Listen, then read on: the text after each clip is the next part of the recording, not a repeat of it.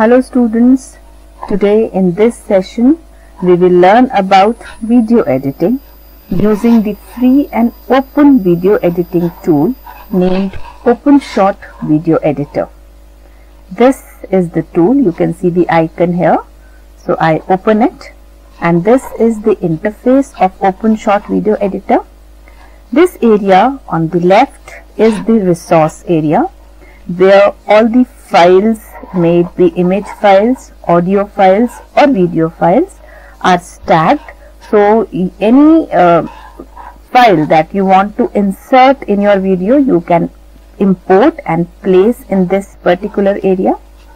This is the video preview area where you can preview your videos and edit them if required.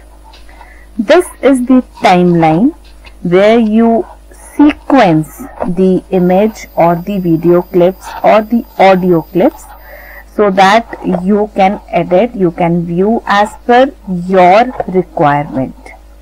So let's begin video editing. For that first and foremost we need to insert image uh, video and audio files so i click on import files button.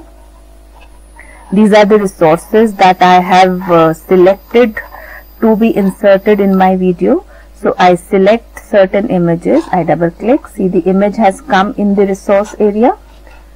I want more images. So I select more images. Here I go. If any file is not supported by OpenShot video editor it gives a message or if the file has already been imported into the editor then also it gives a message. So it says that the file has been already imported. So I say okay I import more files. I would like to insert certain videos also. So I have a video here uh, solorsystem.ogg so I select it. See it is here in the resource area I also want some uh, background music in my video. So I select the audio files. We have selected one and I select the other one also. So these are the resources, the image, the video and the audio files that I'll be requiring in my uh, tool. Uh, I now I need to sequence them. I need to place them in proper sequence in the timeline so that uh, the video that comes up finally is as per my desire. So I select the image, I place it here. Then I select another image, I place it here. If I don't want any gap between the two images, I just stack them one after another. I would like to insert a video. So this is the video that I had imported. I place it here. I want another image so this is the image that I want so I place it here. So in track 2 I have placed all the images and videos that I want to view in my final video. Since I want the background music also so I select the audio file. I place it in track 1 here. If I want another audio file to run because the video is uh, it's going till this particular length. So I want my audio also to go till that particular length. So I, I select here. So this is my file. Now I would like to view preview how my video looks. So I click here.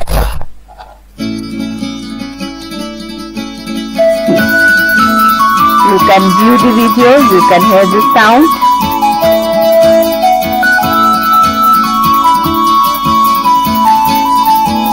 pause the preview, I click on pause button.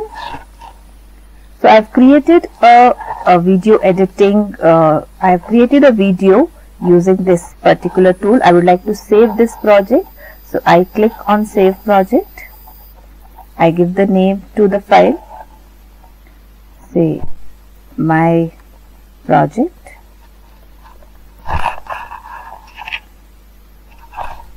I say save project. So project is saved now this project you can view only using the OpenShot video editing tool. If I wanted to make a universal file, a video file that can run on any media player, so I need to save it in the universal formats like uh, MP4 or OGG. So I click on export video button here and I choose in the profile all formats so that it is available for all formats. I click export video. So you can see the status bar, the video is being exported. It will take few seconds to export. It is being saved in the desktop since the path that I mentioned was the desktop.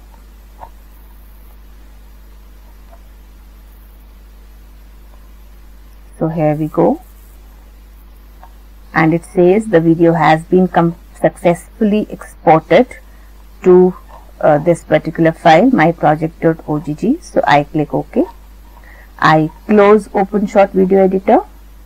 See the desktop has my file myproject.ogg I just double click to open it. And the video is there so we have learned how to create a video using OpenShot video editor thank you